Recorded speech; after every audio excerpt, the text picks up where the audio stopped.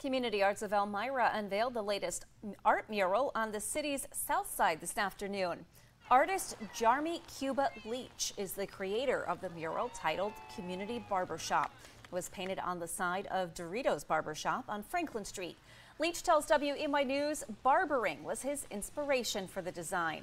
He says reaction to the mural has been very positive and the murals being put up around the city bring a lot of different representation to the community each one unique to its artist.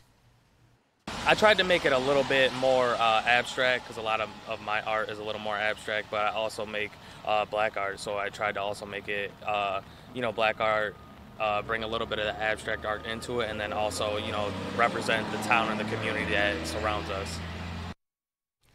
Now, this mural is the latest one unveiled as part of the Elmira Infinite Canvas program. The public art program aims to uplift the community through public art, reducing blight, and expanding community pride.